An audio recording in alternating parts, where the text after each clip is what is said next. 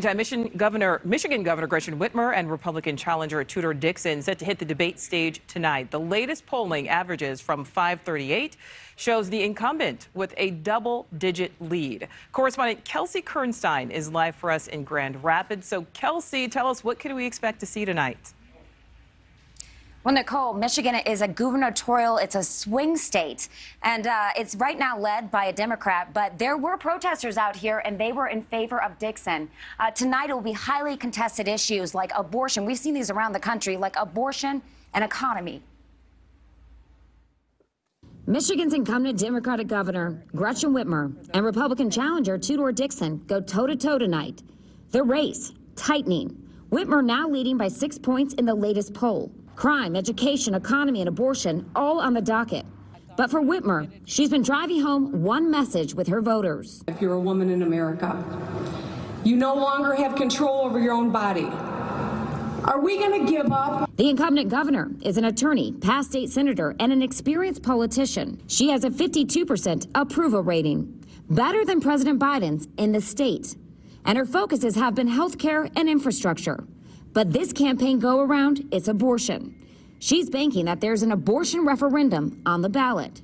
And she's been attacking Dixon's anti abortion stance with major ad blitz. But Dixon has been saying it's not necessary to talk about abortion in this race because it's already on the ballot. The state will vote on a referendum. That the governor will have to abide by no matter who wins. She's a businesswoman, a cancer survivor, and backed by former President Donald Trump. She tells her voters education and the economy is where the focus should be. If parents feel that that school is not performing for their child or that their child isn't performing well in that school, they should have the option to go someplace else. But people we spoke to right here in Grand Rapids say abortion rights run at home for them. And among those voters who put that issue number one Whitmer holds a 36 point lead. I am turned off by Dixon simply because uh, I think her opinions on abortion is inhumane.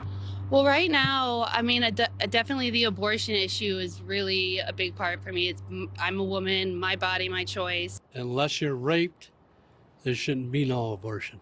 By contrast, Dixon is ahead by 10 points of Whitmer for those who think economy is a top issue. As a small business owner, it's um, it's a tricky time right now. We're seeing a lot of inflation. Whitmer only has a six point lead. What do you think about that? I think it's scary, and all I I just hope people vote. The debate starts in just about 50 minutes. You can watch it exclusively on NewsNation.com. We will be bringing you all the updates. Nichole? All right, Kelsey, it live in Grand Rapids. Thank you for that. Thank you for watching. Go to newsnationnow.com to find News Nation on your television provider. And don't forget to click the red subscribe button below to get more of News Nation's fact driven, unbiased coverage.